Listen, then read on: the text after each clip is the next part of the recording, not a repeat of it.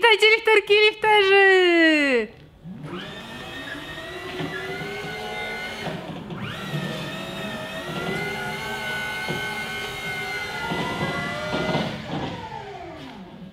Czy podniosę moje wymarzone 300 kg w totalu?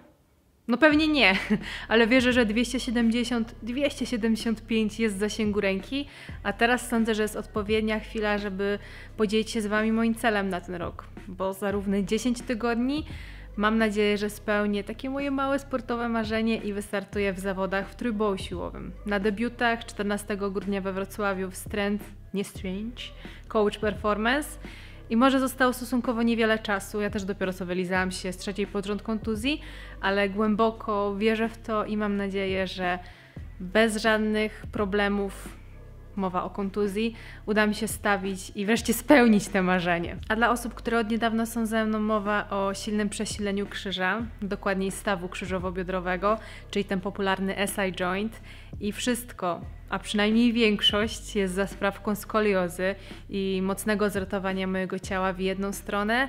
Co za tym idzie, bardzo słaba stabilizacja, wręcz beznadziejna i bardzo osłabione mięśnie core, czyli te głębokie właśnie stabilizujące.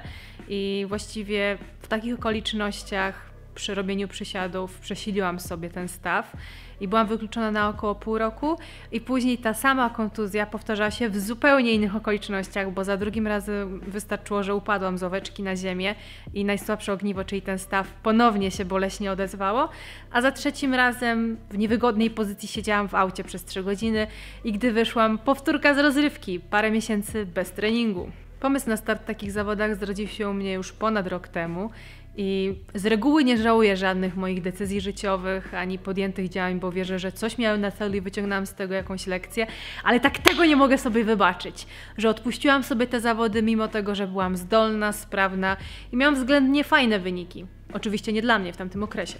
I nie wiem do końca z czego wynikało to moje wycofanie. Czy był to po prostu strach, czy przerost ego, czy miałam wybujałe za duże ambicje i oczekiwania względem siebie. Wiem, że moje stanowisko i odczucia na ten moment są z jednej strony uboższe od te z zeszłego roku, ale są też zdecydowanie bardziej dojrzalsze. I żeby tutaj nikt mnie źle nie zrozumiał, oczywiście warto jest marzyć, realizować te marzenia, ciężko pracować i dużo oczekiwać względem siebie, ale z drugiej strony uważam, że no dobrze jest zachować taki balans, równowagę i być chociaż w malutkim stopniu realistą, który lekko, ale jednak stąpa po ziemi. Bardzo dużo od siebie wymagałam i poziom totalu 300, czyli sumy wszystkich kilogramów z każdego boju, z przysiadu, z martwego ciągu, z wyciskania leżąc, był dla mnie takim poziomem, który dopiero umożliwia mi pójście na zawody i zaprezentowanie się przed innymi. I mimo tego, że jak się okazało, moje wyniki, które były dla mnie komfortowe i które wykręcałam sobie na treningach bezpośrednio przed zawodami, najprawdopodobniej zapewniłby mi zwycięstwo w mojej kategorii, ale mi ciągle było mało, musiał być ten wynik. I tak bujałam sobie głową w chmurach między wymarzonymi wynikami i upadek na ziemię przy kontuzji był bardzo bolesny.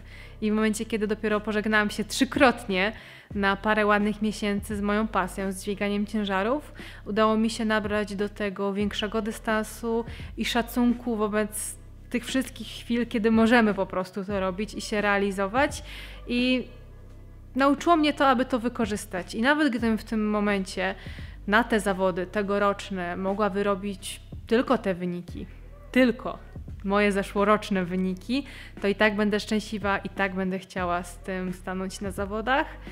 I nie ukrywam, że też chciałabym wykorzystać ostatni rok startów juniorskich.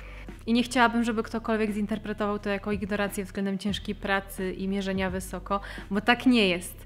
Ale zależy mi, abyście bardziej uwierzyli w siebie i wykorzystywali te chwile, kiedy macie możliwość coś zrobić i nie czekali na idealną chwilę, bo taka może nie nadejść. Ja sama się na tym przejechałam.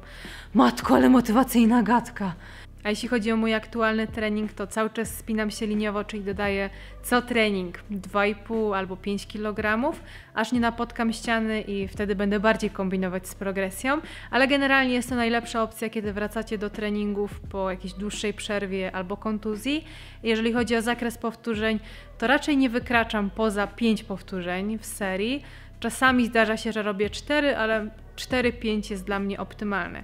I pierwszy bój przysiad. I tak w przysiadzie robię aktualnie 80 kg na 5. Jest już to dosyć wygodny dla mnie ciężar, to nad czym muszę pracować, choć troszkę jest tu kwestia kadru, ale na pewno jest to mega istotne przy startach, czyli głębokość przysiadu, tak aby kolec biodrowy na pewno przekroczył linię kolan. I to, co widzicie na filmie, to moje pierwsze podejścia do low bara po 9-10 miesiącach i zdecydowanie więcej stresu jest tu na krzyżu. Ale nie zmienia to faktu, że no, czuję się po prostu stabilniej przy wyższych ciężarach właśnie w tym ułożeniu. Mój cel to 100 kg, które swoją drogą zrobiłam już w zeszłym roku, ale wszystko wyjdzie w praniu. I mój ulubiony bój, który zresztą jest na logo Dźwigaj Dziewczyno, czyli Martwy Ciąg, a mój max z zeszłego roku to 120 kg. I nie ukrywam, że w tym roku chciałabym co najmniej wyrównać te wyniki, a jedna różnica w wykonywaniu go względem zeszłego roku to to, że zrezygnowałam z pasków i od początku uczę się na samodzielnym chwycie. Łopy mam tylko usmarowane w magnezji i szczerze mówiąc, kiedy nie robię zakresu wyższego niż 5 powtórzeń, to nie sprawia mi to jakiegoś większego problemu. E, na ten moment robię 95 kg na 4 komfortowo i 100 kg na raz też nie jest jakieś ciężkie. I mój zdecydowanie najgorszy bój, z którego mogłabym zrezygnować chociażby na rzecz podciągania z obciążeniem, czyli wyciskanie leżąc. I co prawda na ten moment z Justyną modyfikujemy trochę moje ustawienie, bo staram się złapać trochę szerzej, ale też główny błąd, który popełniałam, czyli tracenie napięcia w niektórych fazach ruchu. Tak teraz staram się to naprawić i być spięta przez cały ruch. Nie wiem, co z tego wyjdzie, to się okaże w grudniu. Jestem dobrej myśli i mam nadzieję, że dobrze przepracuję te 10 tygodni.